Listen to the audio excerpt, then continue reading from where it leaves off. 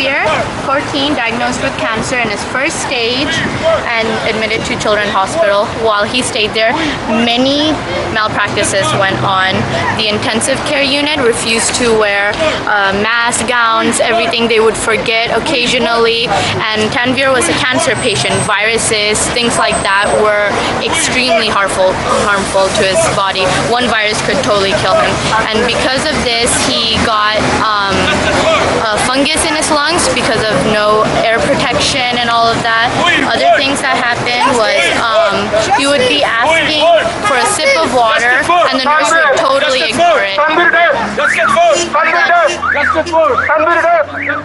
Tanvir dead. And then at the end, he passed away um, because they didn't have an alarm on his heart rate. It went from 130 to zero, and not one person noticed. The nurse didn't notice. Only when we called them did they notice that his pulse was gone. And by that time, it was too late to save him.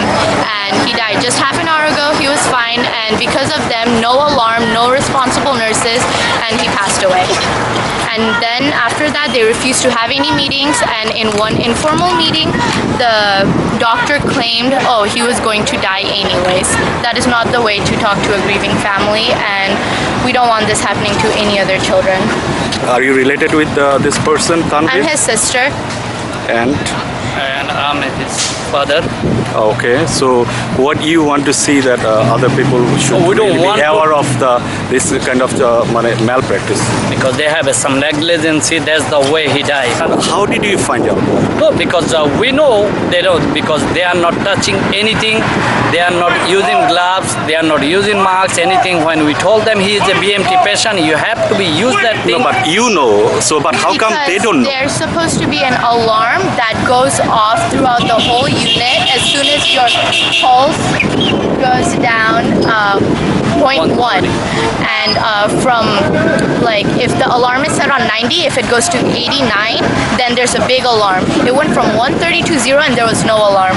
Oh, the so- nurse didn't even realize he died. There is no death time on his death certificate. even when he don't have any any doctor that time. No doctor, no nurse, nothing They just left him. just they left him and they took from his normal room to ICU and ICU there are uh, some broken room they leave it without treatment 45 minutes to one hour. After one hour they realize he's going bad and they try to use lot of things after coma nobody is over there So, uh, did you get any answer from them? Did- no they don't They give me any refused kind to of have answer a meeting. One meeting, like I said, the doctor said we are not God. We make mistakes too, and he was going to die anyways. What does that mean? and that I they have don't a take care of. too that yeah. doctor say he gonna going to die anyway but one doctor cannot say anything he gonna going to die we try to talk to uh, bmt we try to doctor there then was finally we go to human rights and they are make arrangement september 19 because they are they don't want to sit with us but right There now are lawyers who say this is valid and everything, but court cases, they're behind closed doors. This is out in the open. People should know what they're sending their kids to. Well, we haven't talked with any other patients. We were always so uh, concerned about our own and everything. But there have been complaints, like his roommate once, his mom was very mad. Like, you call the nurse and they don't come for like 20, 30 minutes and stuff. Even the last night that my brother was alive, I was calling the nurse for 30 minutes and they didn't come. Yeah, come forward or, you know, this prevents, the, like, all of this ruining a hospital's reputation.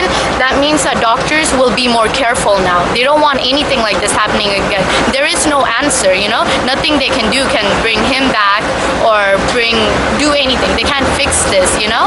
And we don't need to sue, we don't need to do anything. Uh, due to this malpractice, we lost, we lost, I lost my brother, and my parents lost their only son. So many people lost so much, and he was getting out the last day, like just half an hour before. He was just dreaming of all he's gonna do when he gets out. Nobody ever warned us he was that sick, and at the end, he was that sick just because of a delayed reaction towards a big infection in his lungs. The doctors never gave any importance to this like who's a heart patient and a cancer patient and stuff, that's completely wrong. And he's a 14 years old. His uh, height is 6 foot. He play basketball in usa clippers junior clippers and he's a lot of time in Istanbul Center, and he have lot of dream. Uh, due to that reason, your mother got a heart attack. Yes, that's the reason. My mom saw his uh, grandson, then she have a stroke, and right away she is hospital, hospital return. So it affect all, whole your family. right? yes, whole- Like, what do you want to see that we uh, don't you want, to, we don't we don't want it any anybody die like him we don't want it anybody is i don't care what religious what i don't want it anybody die like him you know that's the negligence of hospital. Infection he have a bone marrow transplant. My daughter gave him bone marrow transplant. That mass is 100% and doctor told me when he have a mass is 100% nobody can die like this. But unfortunately they have negligence i'm asking for doctor why he have a big fungus? Why you don't catch them thing they don't have any kind of answer.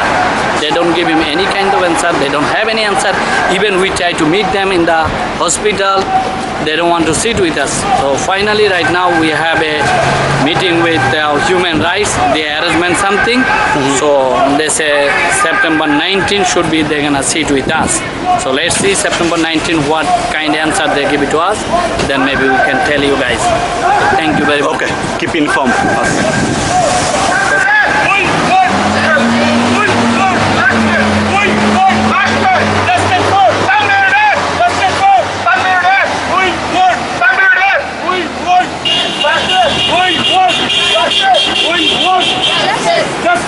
Tanvir! Tanvir!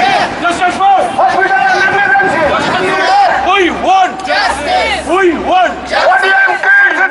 We want justice! We want justice! Justice for Justice for Tanvir's dead! Justice for The process. Justice for Tanvir! We want them to pay. We want them to.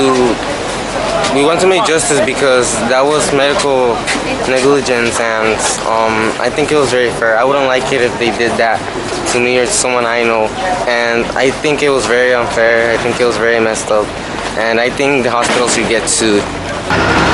I think it affects um, the community because many families are kind of like destroyed and everything, and people need to raise awareness so they could know what, what's happening in the children's hospital. and save future lives.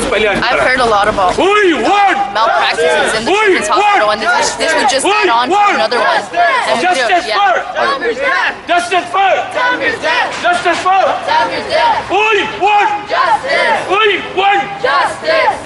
For As a community uh, activist and uh, leader, you you do you see this kind of malpractice been happening where because of the, our race, color, or something like that? Uh, actually, this is for negligence for the uh, RN and doctors.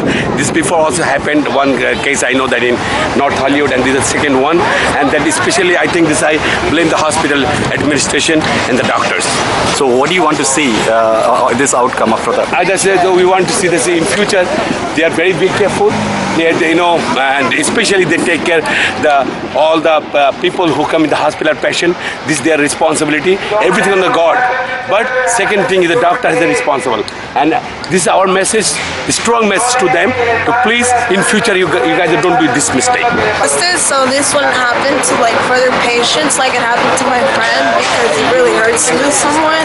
Like it really does to cancer ভালো হয়ে গেছে আমার মেয়েটি বন মেরো যখন দিয়েছে তখন ক্যান্সার ভালো হয়ে গেছে কিন্তু সে মারা গেছে লাং ইনফেকশনে হ্যাঁ যখন নাকি সে ঘুমাতে চলে গেছিল তখনও তাদের মেশিন বন্ধ ছিল সাত ঘণ্টা এই জন্য সে ঘুমাতে চলে গেছিল। তিন মাস আগে। তো ফার্স্টে তারা আইসিউতে নিল নেওয়ার পরে তাদের মেশিন ওয়ার্ক করতেছিল না তারা অনেক টাইম ওয়েস্ট করছে এটার জন্য। আপনার চোখের সামনে সব কিছু ঘটলো। তো I know that is a very very deep loss. nobody really go through with the pain you are having right now. So God give you strength. Okay? All right. Thank you. We support you. Thank you. Thank